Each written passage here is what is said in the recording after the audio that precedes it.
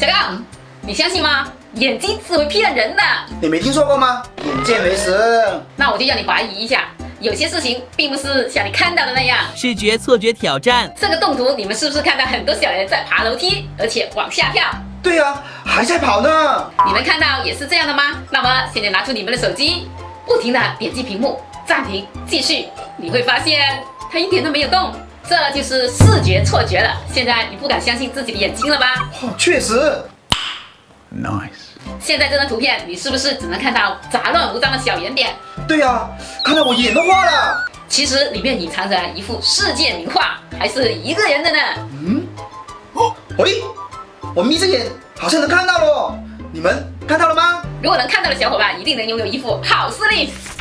你数一下，这里一共有多少只鸭子？二三四五六七八九九只啊，九只。哎，慢着慢着，这里还有两只，九十十一十一只。据说呢，只有百分之十的人才能数出十二只以上的鸭子。看来你是一般人了。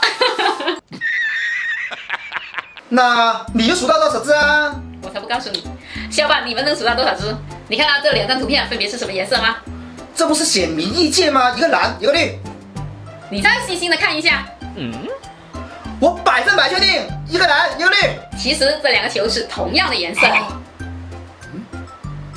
嗯，哦，真的是一样。不知道是我的眼睛欺骗了我，还是你的图片欺骗了我？这就是视觉错觉。解释的很好，不用再解释了。这张图片你第一眼看到的是什么？爱因斯坦啊！不错不错不错，终于终于回了。其实它里面还藏着另外一个人。啊，还有一个人？